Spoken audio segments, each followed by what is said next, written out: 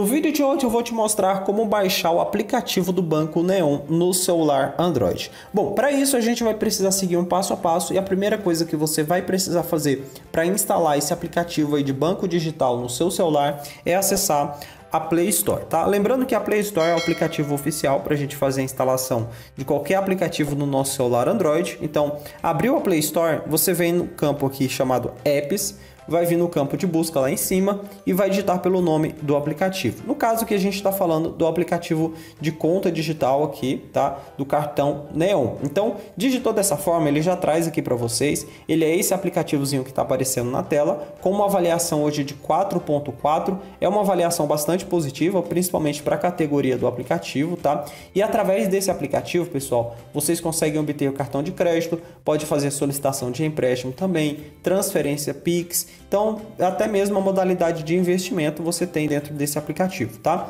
Como é que funciona para instalar? Clica aqui na opção instalar ele já vai fazer o download do aplicativo para vocês, tá?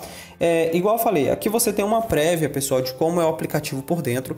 Então, você tem aqui alguns CDBs que rendem 150% do CDI. Então, se o seu dinheiro estiver parado lá na conta e tudo mais, você consegue fazer com que esse dinheiro comece a render ali cada vez mais para vocês, tá? Você também pode gerenciar os limites aqui da sua conta. Então aqui, por exemplo, ó, limite de mil reais ali que está disponível, né? E aí você pode configurar aqui de forma tranquila, tá bom? Então é até legal essa funcionalidadezinha, pode estar tá sendo utilizada. Aqui ele tem outra opção também, cashback, tá? Que é o dinheiro de volta, de acordo com as compras que você faz dentro do aplicativo, volta uma parte do dinheiro para vocês.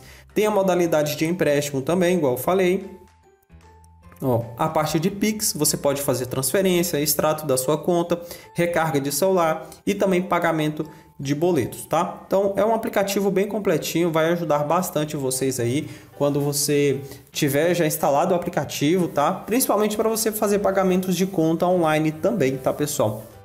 Então vai ajudar muito vocês. Bom, agora o que a gente vai fazer? Vamos aguardar o processo de download do aplicativo, tá? E antes disso, eu quero dar uma dica muito importante para vocês. Você pode vir aqui nos três pontinhos e habilitar isso aqui também, ó, atualização automática. Quando tiver qualquer atualização, qualquer correção do aplicativo, você já vai receber de forma automática, né, no seu aparelho, sem precisar ter que entrar dentro da Play Store, fazer o processo manual de pesquisar pelo aplicativo e clicar na opção atualizar. Você não vai precisar fazer isso, basta habilitar esse campo aqui que vai ajudar muito aí vocês.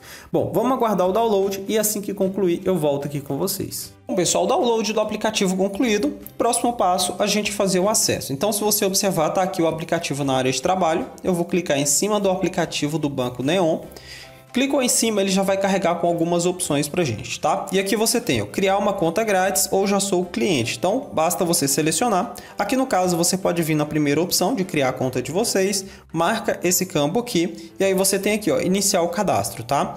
Clica nessa opção de iniciar cadastro e a partir daqui você vai preencher todos os dados básicos que vão ser solicitados para vocês, tá? É claro que você vai seguir por algumas etapas preenchendo essas informações, como por exemplo, CPF na primeira etapa, na segunda etapa você coloca o endereço de e-mail e é importante que você preencha certinho, tá? Para que você não perca o seu acesso depois, então coloca os dados de forma correta, ok? Isso é, uma das coisas muito importantes que vocês vão precisar fazer na hora de estar fazendo o cadastro aí na, da conta de vocês.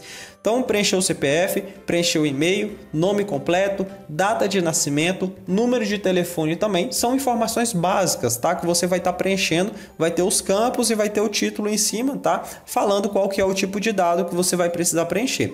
Configura a senha de vocês também. Depois que você passar por toda essa etapa, ele vai mandar alguns códigos para o seu endereço de e-mail. Aí você acessa, confirma, tá? E tudo mais. Você vem aqui, eu já sou o cliente. Ele vai colocar vocês nessa outra telinha. Você preenche aqui o CPF novamente tá? e clica em continuar. Ele vai enviar um link para você criar sua nova senha pelo seu endereço de e-mail, tá bom? Espero que o vídeo tenha ajudado. Não esqueça de se inscrever, de também deixar o seu like. Tamo junto, aquele abraço, valeu e até o próximo vídeo.